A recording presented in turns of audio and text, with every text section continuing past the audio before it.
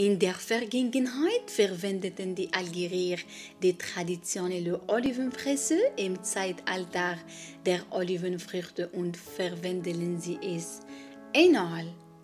Es ist eine große Steinmaschine, in seiner Mitte befindet sich eine Holzschale. Oliven werden hineingelegt und dann werden die Oliven direkt durch Drehen des Rades gemahlen. Das aus der traditionellen Quetschmaschine gewonnene Öl zeichnet sich durch seinen guten Geschmack und seine vielen Vorteile aus.